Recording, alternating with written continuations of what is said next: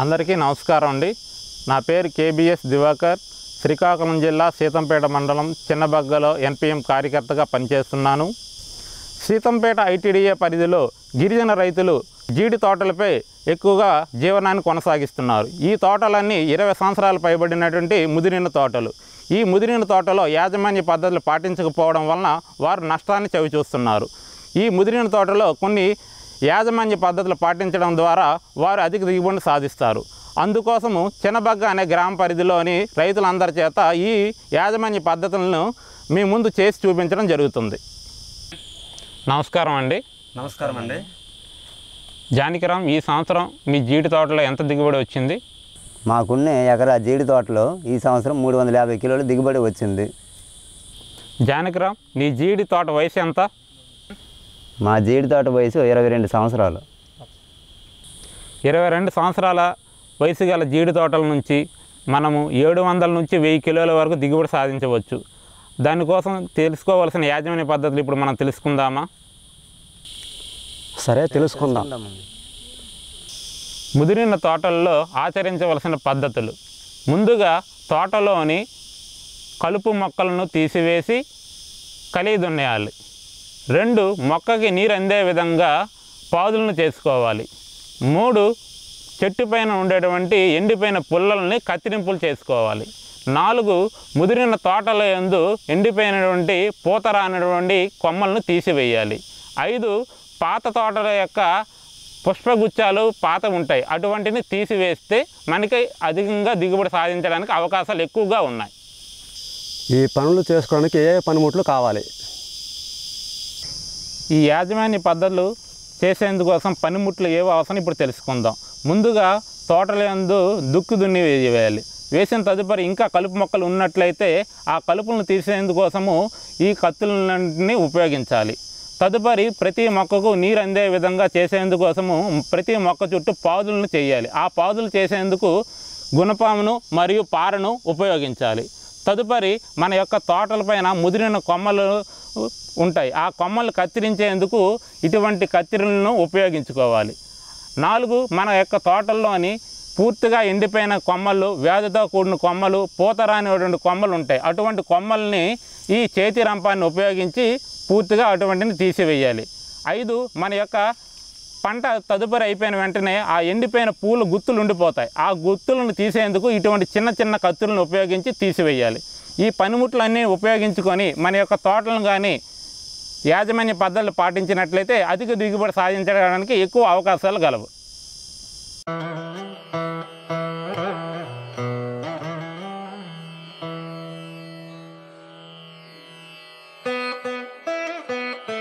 ఈ యాజమాన్య పద్ధతులు ఏ ఏ నెలలో చేసుకోవాలి? ఈ పనులన్నిటినీ తొలకరి వర్షాలు పడే సమయంలో అనగా జూన్ మరియు జూలై మాసాల్లో ఈ పనులు ప్రారంభించాలి.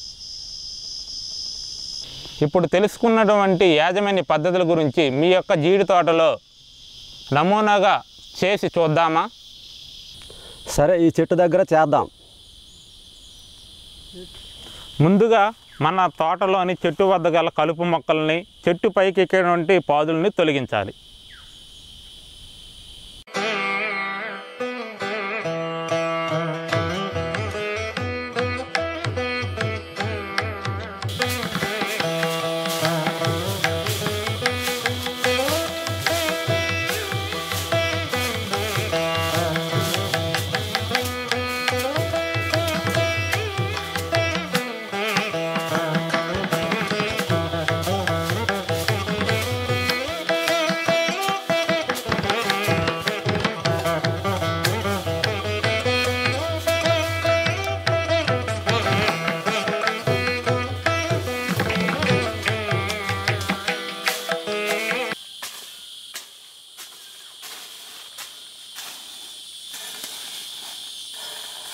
ఈ విధంగా చెట్టు మొదల్లో ఉన్న కలుపులంతరినీ తీసిన తర్వాత మొక్కకు నీరు అందే విధంగా మొక్క నుంచి దాదాపుగా ఆరు అడుగుల దూరంలో కొండవాలు ప్రాంతంలో అయితే అర్ధచంద్రాకారంగా మైదాన ప్రాంతంలో అయితే వృత్తాకారంగా పాదులను చేసుకొని నీరు నిలబడేటట్టు చేసుకోవాలి.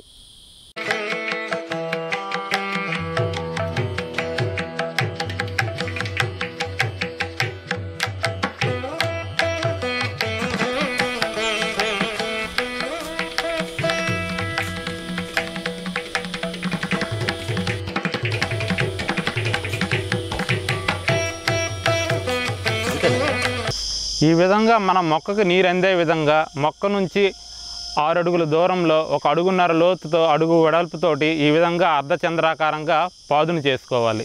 ఈ పాదులోని వర్షాకాలం పడేటువంటి నీరు నిలబడి మొక్కకి నీరు అందించడానికి సహకరిస్తుంది.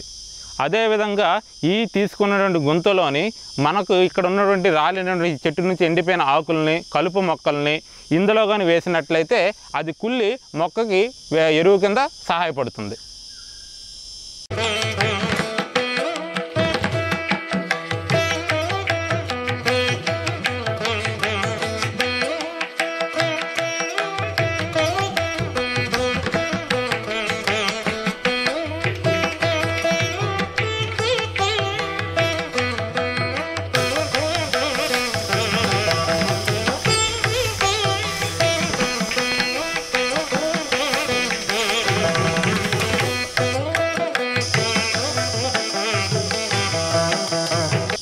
ఈ విధంగా మొక్క దగ్గర నీరు అందే విధంగా పాదును చేసుకున్న తదుపరి దానికి ఎరువుగా ఉపయోగించేందుకు అక్కడ ఉన్న ఎండు ఆకుల్ని వేసుకున్నాం. సో ఆ విధంగా వర్షాకాలంలో అది కుళ్ళి మొక్కకి ఆహారంగా సహకరిస్తుంది. తదుపరి మన యొక్క మొక్కపైన ఉన్నటువంటి ఎండిపోయిన పుల్లలను తీసేందుకు కత్తిరింపులు చేసేందుకు ఈ సికేచర్ని ఉపయోగిస్తాం. ఈ సికేచర్ని ఉపయోగించి మనము ఈ మన తోటలో ఉన్న ఎండిపోయిన పుల్లల్ని కత్తిరింపు చేసుకోవాలి.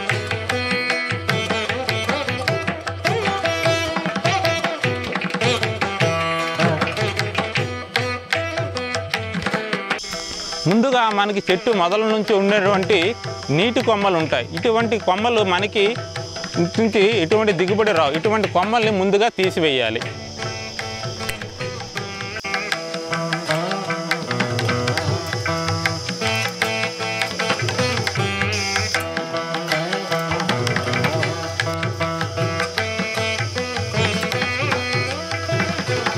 మనకి కొండవైన కాకుండా ఇంకా అందనేటువంటి పెద్ద పెద్ద కొమ్మలు ఉంటాయి అటువంటి కొమ్మల్ని అందుకునేందుకు ఈ కత్తిరిని ఉపయోగించి దూరంగా ఉన్న కొమ్మల్ని కత్తిరింపు చేసుకోవాలి.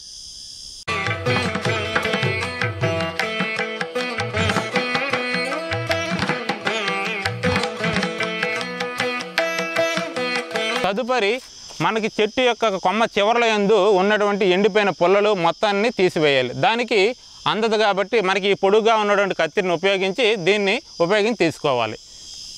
మనం ముందుగా ఏదైతే కొమ్మని తీసుకోవాలనుకుంటున్నామో ఆ కొమ్మని సెలెక్ట్ చేసుకొని ఆ పై పాట్లో పెట్టి దీన్ని ఈ విధంగా ప్రూనింగ్ చేసినట్లయితే ఆటోమేటిక్గా వస్తుంది.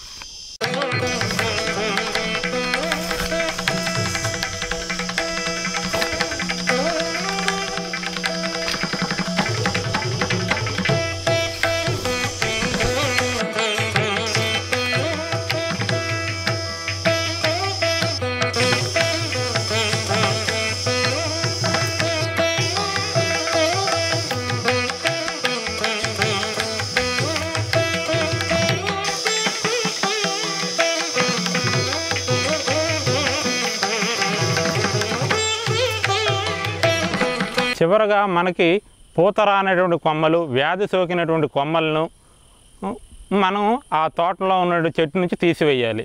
ఈ తీసివేసే సమయంలో పక్కన ఉన్నటువంటి మొక్కకి మొక్కకు కలిసేటువంటి ఏదైనా కొమ్మలు ఉన్నట్లయితే వాటిని కూడా తీసివేయాలి. ఒకవేళ కానీ తీగిపోయినట్లయితే ఆ పక్కకు ఉన్న మొక్కకు వచ్చిన ఏదైనా వ్యాధి కానీ ఉన్నట్లయితే మనం చేసేటువంటి పనులు చేసే మొక్కకు కూడా వ్యాధి సంక్రమిస్తుంది.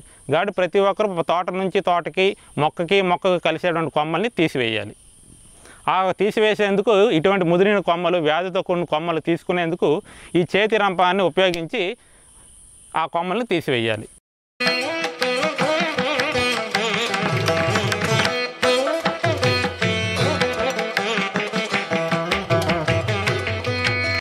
ఉదాహరణకు ఈ ఎండిపోయిన కొమ్మలో చూసినట్లయితే మనకి ఇక్కడ ఆల్రెడీ వ్యాధి చేసినటువంటి బాగా నాచు పట్టి క్రిములు వచ్చున్నాయి. అదేవిధంగా ఈ ఎండిపోయినటువంటి కొమ్మ వల్ల ఈ కుళ్ళి మన కాండం తులిచే పురుగు వచ్చే అవకాశం ఎక్కువగా ఉంది.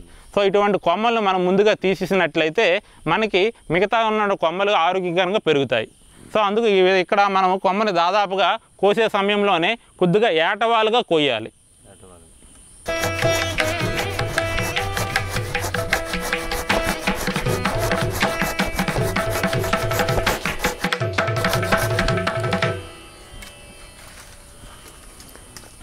ఈ విధంగా మన ఏటవాలుగా కాండాన్ని కోసినట్లయితే వర్షపు చినుకు అనేది ఇక్కడ పడి నిల్వ ఉండకుండా ఉంటుంది. వర్షపు చినుకు పడినట్లయినా కిందకి జారిపోతుంది. అప్పుడు కాండం అనేది కుళ్ళకుండా ఉంటుంది. ఇప్పుడు మనం తెలుసుకున్నటువంటి చేసినటువంటి యాజమాన్య పద్ధతుల్ని మన యొక్క జీడి తోటల యందు ముదిరిన తోటలో చేసుకున్నట్లయితే మన అధిక దిగుబడిని మరియు నాణ్యత గల పిక్కలను మనం సంపాదించుకోవచ్చు.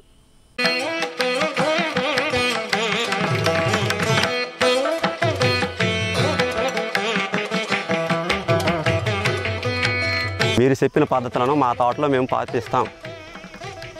చెప్పినందుకు ధన్యవాదములు.